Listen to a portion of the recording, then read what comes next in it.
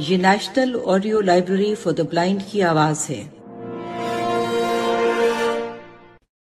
किताब का नाम नौ लखी कोठी, मुसन्निफ अली अकबर नातिक। और आपके लिए पढ़ेंगी फरहा अली। बाब नंबर तेरह। सरदार सुधा सिंह मजबूरन विलियम को रुखसत करने के लिए जीप तक आया और उसको सवार होते देखता रहा। जीप जब तक रुखसत नहीं हुई, वहीं खड़ा रहा। किसी ने कोई बात भी न की। दिलबीर सिंह ने गाड़ी को स्टार्ट करके उसे गियर में डाल दिया और वो रफ्ता रफ्ता गाँव वालों की नज़रों से ओझल हो गई। जीप के गाँव से निकल जाने के बाद सुधा सिंह निहायत बेचैनी से हवेली की तरफ़ मुड़ा। मजमा जो चंद लम्हों में करीब 200 नफूस पर मुश्तमिल हो गया था, वो भी सुधा सिंह की हवेली की तरफ़ चल दिया, ताकि पता चले, फरंगी गवर्नमेंट कैसे आई थी। और सरदार सुधा किसन के साथ क्या बातचीत हुई? मगर फौजा सैयो ने सब लोगों को झड़क कर पीछे कर दिया। हवेली में दाखिल होकर फौजा सैयो ने फाटक बंद करवा दिया। फिर देर तक खामोशी छाई रही। आखिर सुधा सिंह ने सुकूत तोड़ा और फौजा की तरफ़ मुखातिब होकर बोला, फौजे, लगता है मामला कुछ गंभीर हो गया है। इस कलेक्टर के इरादे ठीक नहीं लग रहे। फौजा खामोशी से कान खुजाता रहा और सुधे सिंह की बात का कोई जवाब ना दिया। कुछ देर के लिए फिर खामोशी छा गई। हवेली को जैसे सांप सूंघ गया हो। किसी दूसरे के बोलने की हिम्मत इसलिए नहीं थी कि सुधा सिंह गुस्से से भरा बैठा था। न जाने क्या हंगामा खड़ा कर देता। आखिर जगबीर ने हिम्मत की और बोला, सरदार जी वाह गुरी जी, शर्मा रखो। हिम्मत से काम ले। गुलाम हैदर या अंग्रेज़ के पास कोई सबूत तो है नहीं। कलेक्टर आ गया है तो कोई कहर नहीं टूट पड़ा। देखी जाएगी। फौजा सैयो जो पहले ही कलेक्टर की तरफ़ से की गई तोहिन से सख्त बरहम था और जुधापुर पर हमला भी उसके मशवरे के बरखिलाफ हुआ था, जिसमें जगबीर ने बढ़ चढ़ कर हिस्सा लिया था। जगबीर के इन जुमलों पर एकदम भड़क उठा और बोला, जगबीरे, तेरे जैसे बारह तालिए शराब के चूहे होते हैं। जो दो घूंट चढ़ाकर अपने दुम पर खड़े हो जाते हैं और शेर को ललकार देना उनके लिए कोई मसला नहीं होता। ये तुम ही थे जिन्होंने सुधा सिंह को उल्टी मत दी है और जुधापुर पर धावा बोल दिया। इसी वजह से फरंगी को हिम्मत हुई कि वो मेरी और सरदार सुधा सिंह की बेइज्जती में हाथ डबोकर चला गया है। उस वक्त से डर जब चिरागदीन मुसले का पंदा सुधा सिंह के गले में फिट हो जाए। मगर तुझे क्या?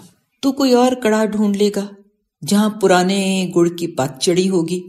मसला तो हमारा है कि जीना मरना सोधा सिंह के साथ है। जगबीर ने फौजा सैयो के आग लगा दाने वाले जुमले सुने तो किरपान खींचकर फ़ौरन खड़ा हुआ। गुस्से से नथने फड़कने लगे और चेहरा अंगारे की तरह दहक गया। तेरी तो मैं दो गज लंबी जबान खींच लूँगा। वाह गुरु की सो, तेरा कत्ल ना करूँ तो समझ लेना मेरी माँ फेरों पर रही है। बुढ़ा पागल हो गया है। इसे किसी ने नहीं समझाया कि जगबीर से बात किन मुहावरों में की जाती है? जगबीर को मुश्तिल होते देखकर सब खड़े हुए और पीत सिंह ने आगे बढ़कर जगबीर को झप्पा डाल लिया। बेदा सिंह ने उसके हाथ से किरपान पकड़ ली। मगर इसी इसना में जुम्मा सिंह भड़क उठा। पीते, छोड़ दे सूरमे को, मैं इसकी वराछे चीर दूँगा। खंजीर चाचे फौजी को ललकारता है। हरामी क्या ये नहीं जानता सरदार फौजा से यो कौन है? उसके साथ ही तलवार खींच ली और बेदा सिंह की तरफ़ भागा। सात गालियों का सिलसिला जारी रखा। इधर निकल रानी खान के साले, तेरी ऐसी तैसी फेर दूँगा। तूने समझा था यहाँ झांझरों वाले बैठे हैं, लेकिन दो तीन जवानों ने उठकर फ़ौरन जमा सिंह को पकड़ लिया। मगर उधर से ललकार सुनकर जगबीर दोबारा पलटा। छोड़ दे बैदे मुझे यहाँ आज लहू की चकियाँ चल ही लेने दे। लाफ सरदारों को महना है। लेकिन लोगों ने जगबीर को मजबूती से पकड़े रखा। इस दंगे में शोर और वावेला इतना बुलंद हुआ कि बाहर खड़ा मजमा हवास बागता होकर हवेली का फाटक पीटने लगा। सोधा सिंह ये देखकर इंतहाई कर्ब और बेबसी से चीखा, मित्रों वाह गुरु को खौफ करो। ये क्या उधम मचा दिया तुमने? क्या झंडू वाला में आग लग गई? सोधा सिंह की आवाज़ में इस कदर गैस था कि तमाम लोग हवेली के अंदर और बाहर वाले सब एक ही दफ़ा खामोश हो गए। इस खामोशी से सुधा सिंह को जरा सुकून मिला। दोबारा कदरे धीमे लहजे में बोला, फौजे, अब लड़ने और ताने मिने देने का कोई फ़ायदा नहीं। जो हुआ, सो हुआ। किए पर पछताना मूर्खों का शिवा है। बस आगे की सोचो। फौजा सैयो ने जब देखा कि सुधा सिंह बिल्कुल ही हथियार फेंक चुका है तो वो कदरे सुकून से बोला, देख भाई, सरदार सुधा सिंह, अब मैं तब बोलूँगा जब मेरा मशवरा जड़ से परम्बलों तक मानोगे। वरना तन से उसने जगबीर की तरफ़ देखा और कहा, तेरी और इन सूरमों की अपनी राह और मेरी अपनी राह। सोधा सिंह ने बड़े सुकून से पगड़ी को दुरुस्त किया और सुनने के लिए हमातन गोश हो गया। फिर फौजी ने आगे झुक कर अपनी बात शुरू की। सरदार सुधा सिंह, मेरी दो बातें गौर से सुन और उसको पल्ले बाँध ले। एक ये कि अब झंडू वाला से बाहर कदम ना निकालना, चाहे कयामत आ जाए। कुछ समय तक ये हवेली ही तेरा मरण जीवन रहना चाहिए। इसके अलावा जितनी जल्दी हो सकता है, महाराजा पटियाला के दरबार से किसी सिफारिश का बंदोबस्त कर।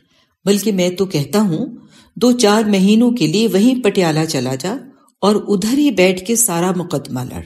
दूसरी सलाह मेरी ये है कि ढुले बैरों का कुछ नहीं गया। अब्दुल गुजर की तरफ़ फ़ौरन बंदा भेज दे, उन्हें शाहपुर पर हमले से रोक दे। फौजा सैयों की बात सुनकर जगबीर और पीत सिंह ने मुँह बसोरा, लेकिन कुछ नहीं बोले। मगर सोधा सिंह ने तहमुल से सवाल किया, इसकी क्या वजह है कि हम इतनी बुजदिली का सबूत दें? फौजा सैयद दोबारा बोला, वजह यह है, सरदार सोधा सिंह, इस दफ़ा दो काम ऐसे हुए हैं, जो आज तक नहीं हुए थे। उनका शगुन अच्छा नहीं। एक ये कि तेरी कमर पर गुलाम हैदर ने कत्ल का पर्चा रख दिया है। दूसरा, कलेक्टर ऐसा आ गया है, जिसके तेवर खूंखार हैं। वो समझ चुका है कि ये सब किया धरा तेरा ही है, वरना वो झंडू वाला कभी ना था अब शाहपुर पर हमला हुआ तो उसमें चाहे तो जितना भी पल्ला छुड़ाए, बाटों की जगह तुझे ही रखा जाएगा। उधर अंग्रेज़ राज में कत्ल माफ़ नहीं हो सकता। रही गुलाम हैदर की बात, वो भूखे शेर की तरह बाउला हुआ है। थानेदार ने जो हालत उसकी बताई है, उससे ये साबित होता है कि उसे पर्चे वर्चे से कुछ गरज नहीं। वो तो बस तेरा सामना चाहता है और ये अच्छी बात नहीं। तो क्या बुजदिलों की तरह चूड़ियाँ पहन लो? सोधा सिंह जरा तप कर बोला, मैंने कब कहा है चूड़ियाँ पहन ली? बस जरा कोयलों को स्या होने दे और हालात का रुख देख। वाह, हालात का रुख देख अब के पीत सिंह बोला, ताकि पुलिस आराम से आकर सुधा सिंह को बैल की तरह नथ डालकर ले जाए और फिर जेल में चक्की पर जोत दे। इसका एक हल है। फौजा से ये उसी तहमुल से बोला, वो क्या? सुधा सिंह ने पूछा, देख सरदार सुधा सिंह मामला अभी ज़्यादा बिगड़ा नहीं है। एक कत्ल की बात संभाली जा सकती है, और मकई का तो कोई मसला ही नहीं। इससे थोड़ा सा भी आगे बढ़े तो समझ लो दूध का छन्ना गोबर में जा गिरेगा। फिर थोड़ी देर रुककर बोला, मेरी मान, गुलाम हैदर से सुलह कर ले और चरागदीन का कसास दे दे। फौजा सईयों ने लजाए हुए लहजे में कहा। फौजी की बात सुनकर तमाम लोगों के मुँह खुले के खुले रह गए। किसी को भी तवक्को नहीं थी कि फौजा इतनी बुजदली की बात करेगा। खासकर जगबीर के तो गोया सर पर फौजे ने राब की उबली उबली देग डाल दी। उधर सुधा सिंह और पीत सिंह भी गुस्से से सुर्ख और लाल पीले हो गए। लेकिन उनके जवाब देने से पहले ही फौजा सयो उठ खड़ा हुआ, क्योंकि उसे पता था कि वो जो जवाब देंगे, वो उसे सुना नहीं जाएगा। इसलिए बेहतर है हवेली से निकल जाए और उन्हें उनके हाल पर छोड़ दे। फौजे के साथ ही जमा भी हवेली से निकल गया। अगरचे फौजा सैयो का सरदार सुधा सिंह को यूँ बात सुने बगैर छोड़ के जाना अच्छा फैसला नहीं था। मगर सुधे सिंह को भी फौजे की ये बात बहुत घटिया और शोधी लगी। ये बुजदली की हद थी जो फौजा सैयो ने की थी। इसलिए सुधा सिंह ने उसे रोकने की जरा भी कोशिश न की। उसने सोचा, जगबीर और पीता सिंह ठीक कहते हैं। अभी कौन सी कयामत आ गई है? कि मुस्लों के आगे घुटने टेक दे खासकर कल के छोकरे के आगे, जो अभी स्कूल का मुंडा है, पूरी सिख बरादरी में नाक कट जाएगी और शरीके में क्या मुँह दिखाएँगे? बैर और लड़ाई तो जवानों का सिंगार है, वरना मर तो वो भी जाते हैं, जो सारी उम्र अखाड़े में नाचते हैं और कीकर का कांटा चुभने से बेहोश हो जाते हैं। फिर सौदा सिंह जगबीर की तरफ़ मुँह करके बोला, जगबीरे, अब तेरा मशवरा ही चलेगा। बोल, वाह गुरु के नाम से क्या कहता है? फौजा सैयो ने तो जन्हों वाली बात की है।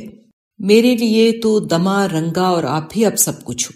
जगबीर जो भी ये सोच रहा था कि कहीं सुधा सिंह को फौजा सैयो के भरे भजमे से उठकर जाने का अफसोस ना हुआ हो, सुधा सिंह की तरफ़ से हौसला पाकर कहा, सरदार सौदा सिंह, पंद्रह जवान मेरे साथ कर दे और अब्दुल गुज्जर को पैगाम भेजकर पूछ। अगर वो कल तक शाहपुर पर हमला करता है तो ठीक, वरना ये काम भी मैं ही करता हूँ। वो राज़ी हो जाए तो मैं उसकी फौज में शामिल हो जाता हूँ। कल रात ही हम और गुज्जर मिलकर ये काम कर दें तो ये अंग्रेज़ी बाबू और गुलाम हैदर दोनों पागल हो जाएँगे और बोल की झाग की तरह बैठ ना जाए तो मुझे कहना। सुधा ने पीत सिंह की तरफ़ देखा तो वो बोला, सरदार साहब, देख, शाहपुर पर हमला इस वक्त बड़ा मुफीद है। जगबीर ने बड़ी ठीक सलाह दी है। शाहपुर में मेरा यार फजलू मौजूद है। बंदा भेजकर उसे बुला ले। सौ रुपया देकर सब मुखबरी ले लेते हैं। सुधा सिंह को, पीत सिंह की बात पसंद आई। हरे सिंह को आवाज़ देकर सुधे ने पास बुलाया और उसे फ़ौरन शाहपुर जाने के लिए कहा कि जाकर ईशा तक फजलू को ले आए। दूसरी तरफ़ नत्था सिंह को हिदायत भेजकर अब्दुल की तरफ़ रवाना कर दिया कि उनको सुधे के फैसले से आगाह कर दे और जो कुछ भी वो कहें, वो आकर खबर दे। लेकिन उन्हें कह दे कि हमला हर सूरत कल होना चाहिए। मुआसस सामईन, जो रिकॉर्डिंग आपने अभी समात फरमाई, इसे national audio library for the blind की जानब से पेश किया गया है। हमारे यूट्यूब चैनल को लाइक सब्सक्राइब और शेयर ज़रूर कीजिए। अपनी कीमती तजावीज़ और आरा के इजहार के लिए हमारे कमेंट सेक्शन का इस्तेमाल कीजिए। अगर आप भी रजाकाराना तौर पर हमारे इस मिशन का हिस्सा बनना चाहें तो डिस्क्रिप्शन में दिए गए लिंक के ज़रिए हमारे व्हाट्सएप ग्रुप को ज्वाइन कीजिए।